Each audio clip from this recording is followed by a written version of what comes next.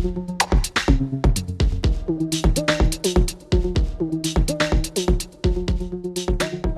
to the coronavirus, most of us are at home in quarantine and can't go out. My name's Alicia and I'm one of the students on the YMCA FTA course powered by Nike.